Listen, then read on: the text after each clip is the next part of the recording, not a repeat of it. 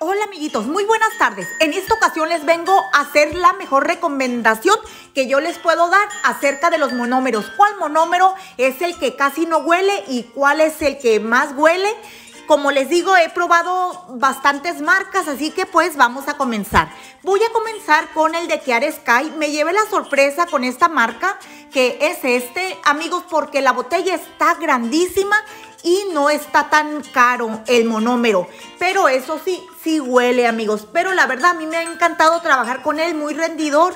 Eh, lo puedo, lo uso con todas las marcas, como todos los monómeros. Ya esa ya ese mito que existía antes que a como era la marca, era el acrílico. No, amigos, los monómeros se pueden utilizar para cualquier acrílico. Como les digo, es este y no está muy caro. Yo trabajo afuera, así que el olor, pues a mí no me afecta en realidad. Pero eso sí, el número uno es este. Tómale captura, es muy popular. Huele a chicle, inclusive cuando limas tus uñas, el polvito despide un olor a chicle. Viene de México esta marca Sirineus.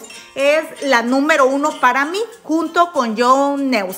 Este es otro monómero que es muy popular casi en la mayoría de las mesitas de aquí de Estados Unidos. Lo van a ver, amigos, porque es muy, muy popular. Casi no huele, también huele como a chicle.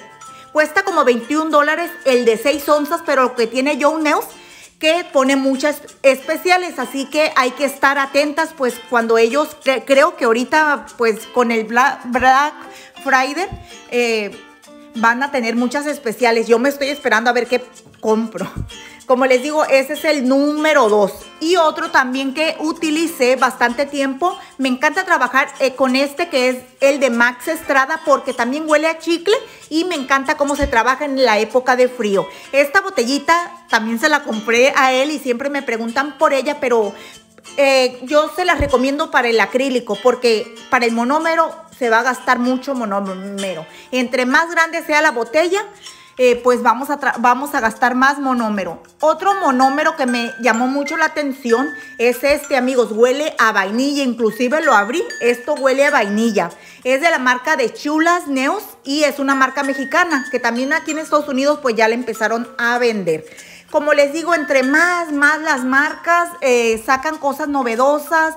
Ya ahorita hay mucha marca, mucho monómero para elegir. Así que, como les digo, entre más pasa el tiempo, pues más cositas novedosas podemos encontrar para las uñas acrílicas. Otro monómero que tuve la oportunidad de trabajar con él fue este de Valentino. Casi no huele, la verdad, pero sí huele.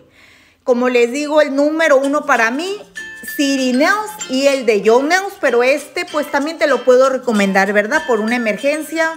Es que sí hay gente que lo utiliza, amigos, pero para serles sincera, sí huele. Bueno, otro monómero que compré porque se me había acabado y pues Salis, ustedes ya saben que donde sea hay, pero la verdad bien caro. 4 onzas por 16 eh, dólares. Aparte sí huele, como pueden ver, está bien fuerte el olor. Mm, pues ya saben, ¿verdad? Pero para una emergencia, pues sí nos ayuda, sí nos saca de un apuro Salis. Y esas son las botellas 100% que les voy a recomendar. Esta todavía está grandecita, pero esta, amigos, esta que les voy a mostrar es la número uno para ahorrar eh, monómero. Entre más chica la botellita, pues más vamos a hacer rendir nuestro monómero. Y pues ya saben ustedes que el pincel Kolinsky, ¿verdad? Para no gastar tanto producto. Muchas gracias.